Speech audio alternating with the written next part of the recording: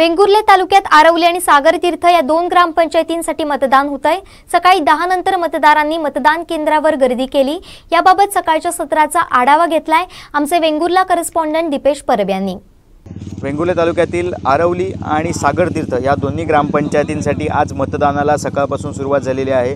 सकाळी आठ वाजल्यापासून या ठिकाणी मतदारांनी मतदान केंद्रावर यायला सुरुवात केलेली आहे. मात्र काहीसा संत प्रतिसाद हा सकाळच्या सत्रात पाहायला मिळाला. महिलांची जी आहे ती जास्तीत जास्त उपस्थिती सकाळच्या सत्रात पाहायला मिळाली. त्यानंतर यानंतर सकाळी दहा वाजल्यानंतर किंवा अकरा वाजल्यानंतर या ठिकाणी मतदानाला जो जो आहे तो जोर आलेला आहे आणि आता मतदान केंद्रांवर या ठिकाणी गर्दी पाहायला मिळते. आरवली आणि सागरतीर्थ या दोन्ही ग्रामपंचायतींचा विचार केला तर प्रत्येकी नऊ नऊ जागांसाठी या लढती होत आहेत आणि सागरतीर्थ ग्रामपंचायतीचा विचार केला असता अगोदरच या अगोदरच शिवसेनेची बिनविरोध एक सदस्य या ठिकाणी या ग्रामपंचायतीवर निवडून आलेली आहे.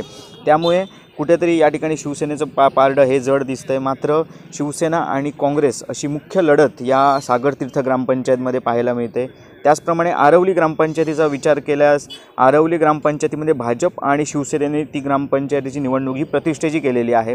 आणि या ठिकाणी दोन्ही कार्यकर्त्यांच्या कार्यकर्त्यांना उत्साह मिळतो आहे राष्ट्रवादी आणि काँग्रेस यांचेही उमेदवार या ठिकाणी आरवली ग्रामपंचायतीमध्ये आपल्याला पाहायला मिळत आहेत त्याचप्रमाणे अशी ही तिरंगी लढत आरवली ग्रामपंचायतमध्ये आहे.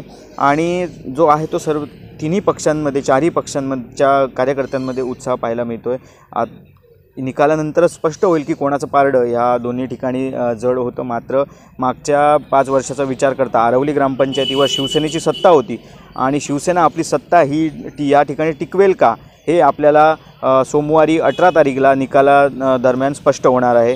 त्याचप्रमाणे सागरतीर्थ ग्रामपंचायतीवरही या ठिकाणी शिवसेना आणि काँग्रेस आहे. यांनी जी प्रतिष्ठेची केलेली आहे लढती आणि या ठिकाणी आपल्याला पा मागे पा आपण पाहू शकतात की आता आम्ही सागरतीर्थ ग्रामपंचायत मतदान केंद्रावर आहोत आणि या ठिकाणी मोठ्या प्रमाणात जी गर्दी आहे ती इकडे दोन केंद्र आहेत आणि या ठिकाणी आपल्याला पाहायला मिळते. त्याचप्रमाणे चोख पोलीस बंदोबस्तही या दोन्ही ग्रामपंचायतींसाठी आपल्याला पाहायला मिळतो आहे आता दुपारनंतर काहीशी ग- गर्दीला सुरुवात होणार आहे आणि सायंकाळी जो आहे तो एकूण जो मतदानाचा जे चित्र आहे ते स्पष्ट होईल. दीपेश परब सिंधुदुर्ग लाईव्हसाठी वेंगुर्ला. तुम्हाला जर हा व्हिडिओ आवडला असेल तर लाईक करा शेअर करा आणि सबस्क्राईब करायला विसरू नका.